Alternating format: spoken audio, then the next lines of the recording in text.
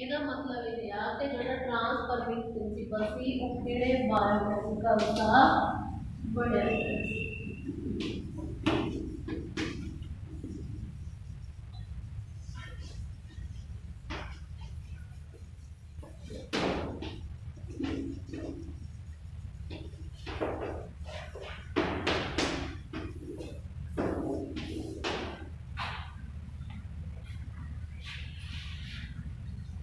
Prior to the work of Oswald Avery, Colin, Michael in 1933 to 44, the genetic material was thought to be protein.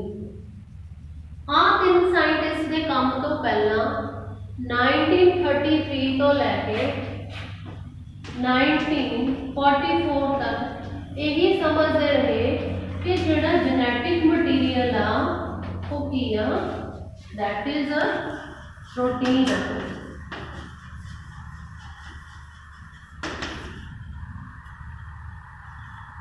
ठीक है they work to determine the biochemical nature of transforming principle in griffith experiment ਹੁਣ ਇਹ ਤਿੰਨ scientist ਨੇ ਫਿਰ ਜਿਹੜਾ Griffith ਨੇ experiment ਕੀਤਾ ਸੀ ਉਹਦੇ ਐਕਸਪੈਰੀਮੈਂਟ ਕਰਕੇ ਟਰਾਂਸਫਰਮਿੰਗ ਪ੍ਰਿੰਸੀਪਲ ਦਾ ਇਹਨਾਂ ਨੇ ਡਿਟਰਮਾਈਨ ਕੀਤਾ ਕਿ ਕਿਹੜਾ ਬਾਇਓਕੈਮੀਕਲ ਨੇਚਰ ਆ ਜਿਹੜਾ ਟਰਾਂਸਫਰ ਹੋਇਆ ਐਸ ਤੋਂ ਆਰ ਸਟੇਨ ਗਿਆ। ਦੇ ਪਿਊਰੀਫਾਈਡ ਬਾਇਓਕੈਮੀਕਲਸ ਉਹਨਾਂ ਨੇ ਤਿੰਨ ਚੀਜ਼ਾਂ ਕੱਢੀਆਂ। ਕਿੱਥੋਂ ਕੱਢੀਆਂ? ਜਿਹੜਾ heat killed S cells to C which one could transfer the live cell to S cell ਇਹਦਾ ਮਤਲਬ ਇਹ ਹੈ ਪੁੱਤਰ ਜੀ, ਜਿਹੜਾ ਹੀਟ ਕਿਲਡ ਆਪਣੇ ਕੋਲੇ ਹੀਟ ਕਿਲਡ ਐਸ ਸਟੇਨ ਸੀ। ਬੈਕਟੀਰੀਆ ਐਸ ਸਟੇਨ ਸੀ ਉਹਨਾਂ ਨੇ ਇਸ ਬੈਕਟੀਰੀਆ ਦੇ ਵਿੱਚੋਂ ਤਿੰਨ ਚੀਜ਼ਾਂ ਕੱਢੀਆਂ, ਕਿਹੜੀਆਂ ਕਿਹੜੀਆਂ ਆਰ ਐਨ ਐਨ ਐਂਡ ਤਿੰਨ ਚੀਜ਼ਾਂ ਦੇਖੀਆਂ ਉਹਨਾਂ ਨੇ। DNA RNA and proteins heat killed ਕੀਤੇ ਨੇ ਵਿੱਚੋਂ and. They discovered that DNA alone bacteria cause R bacteria to transfer.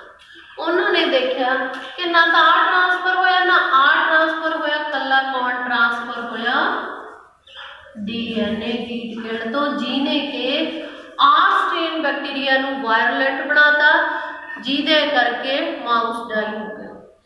R strain bacteria ਦੇ ਉੱਤੇ ਸਮੂਥ ਕਵਰਿੰਗ ਕਰਤਾ।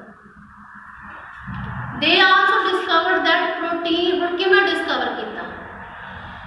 protein digesting enzyme protein digesting enzyme ਦਾ ਨਾਮ ਹੈਗਾ ਆ ਪ੍ਰੋਟੀਏਜ਼ਸ।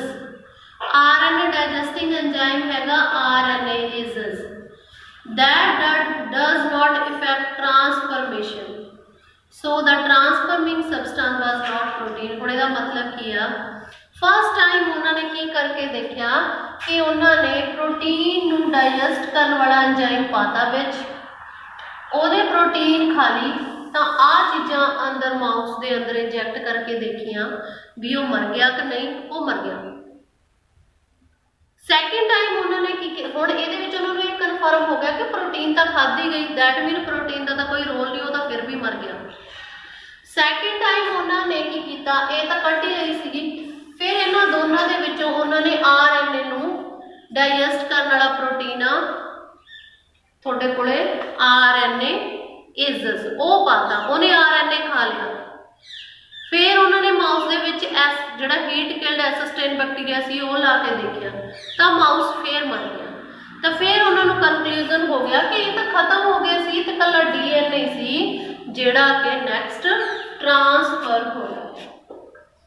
They concluded that DNA is the uh, hereditary material but ਉਸ time ਤੇ ਸਾਰੇ scientist ਉਹਨਾਂ ਦੀ ਇਸ ਗੱਲ ਨੂੰ ਮੰਨ ਨਹੀਂ ਰਹੇ ਸੀ ਬਟ ਉਹਨਾਂ ਨੇ ਡਿਸਕਵਰ ਕਰਤਾ ਸੀ ਕਿ ਉਹ ਡੀਐਨਏ ਆ, ਜਿਹੜਾ ਕਿ ਫਰੋਮ ਇੱਕ ਜਨਰੇਸ਼ਨ ਤੋਂ ਦੂਸਰੀ ਜਨਰੇਸ਼ਨ ਚ ਜਾ ਰਿਹਾ ਹੈ।